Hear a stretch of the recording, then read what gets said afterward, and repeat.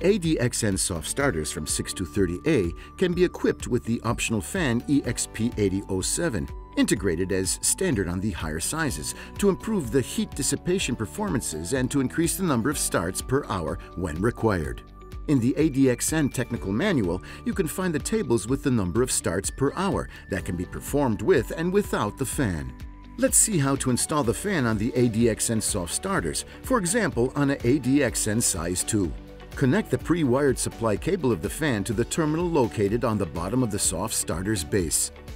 Then, thread the cable in the appropriate slider, like this. Finally, insert the fan in the dedicated slot and press slightly down until you hear a click. The procedure for the installation of the fan on an ADXN size 1 is similar. In this case, the fan must be turned by 90 degrees and the fan supply cable is inserted into the same area where the connector is present. The fan is automatically activated for 30 seconds at every start command, or in the event of overtemperature.